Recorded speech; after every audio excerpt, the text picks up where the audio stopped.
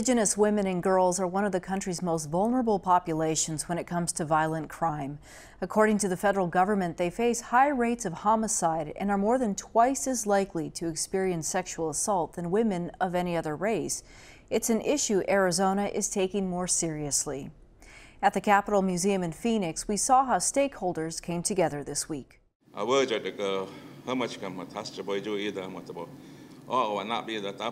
A ceremonial bill signing Tuesday began with a prayer and signaled the start of a search for answers. HB 2570, the law of the land.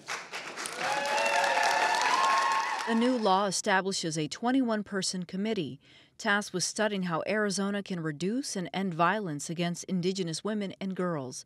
Democratic State Representative Jennifer Jermaine sponsored the bill in the House, which passed both chambers with unanimous support. The purpose and the goal of the task force is to get to better numbers for the state of Arizona so that we can start attacking the root cause of the problem and putting resources uh, in those areas. The lack of reporting on cases involving Indigenous women and girls led the Urban Indian Health Institute to label it a data crisis when it looked into the issue last year.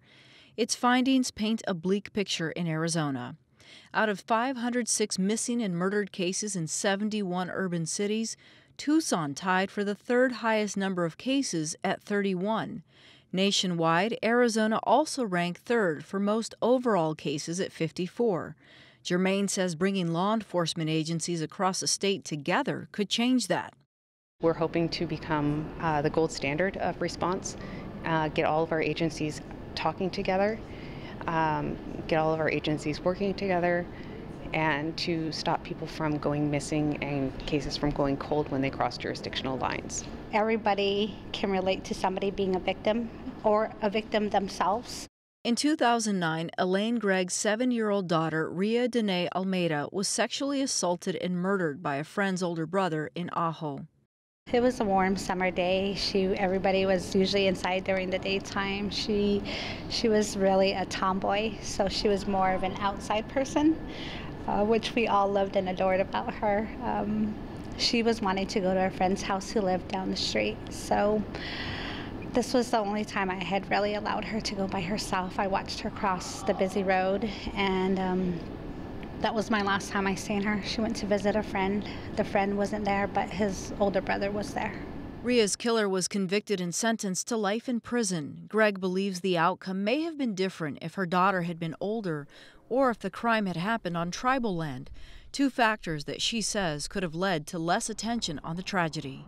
And just from different stories that go on within our tribal community, um, there's people who have committed similar crimes who get seven years, six, seven years. So they're they're free to walk after that, and I can't imagine what that kind of trauma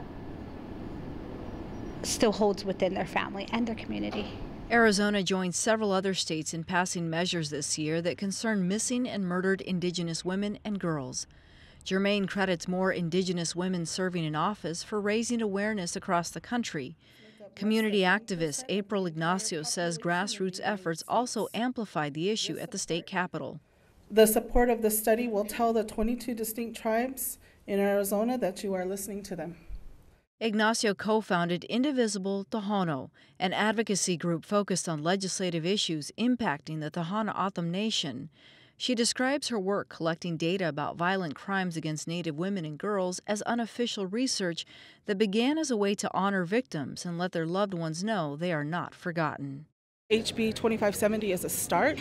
It's, it's a start, it's necessary. Um, I would like to see appropriations, I would like to see dollars um, to back this up. That would tell me that Arizona is serious. Jermaine says the committee received about $150,000 from the Office of Arizona Attorney General Mark Brnovich. Members will include legislators, tribal council members, and community leaders. They officially begin work on August 27th, and by November of 2020, they're expected to produce a report recommending ways to address the issue, from new legislation to increased services for victims. The biggest thing that we're doing to try to ensure that that the report and the recommendations are honored is we're building those relationships with key lawmakers, with, with the governor's office, with the attorney general's office, with the FBI, with Congress. um, with the tribal leaders to ensure that um, whoever is sitting in this in this seat in 2021 is able to keep pushing forward. Indian tribes don't usually have that of um, a strong relationship with those elected representatives. And I think that is step number one, um, is to start building these relationships. Those close to the issue know it will take more money and resources to achieve change, but for now they can agree. Legislation like this is a step in the right direction.